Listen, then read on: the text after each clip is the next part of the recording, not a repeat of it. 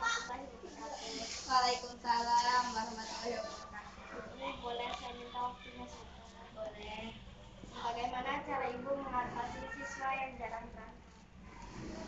Barangkali anaknya malas itu nggak mau berangkat, terus suka mogok. Eh, bisa jadi mengatasinya dengan cara apa ya? Penilaiannya juga lucu sendiri.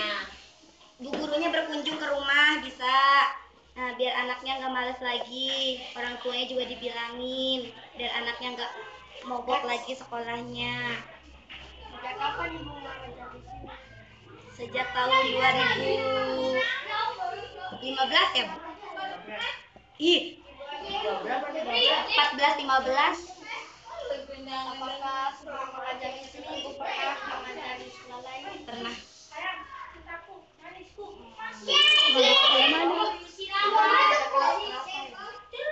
Bukan ngajar kelas tapi Bu Lela ngajarnya TK. Bukan kelas 1 tapi anak usia dini. Pelajaran apa saja yang ibu ajarkan? Semua mata pelajaran. Dari matematika, ada bahasa, ada agama, semuanya mata pelajaran. Iya. Waalaikumsalam warahmatullahi wabarakatuh.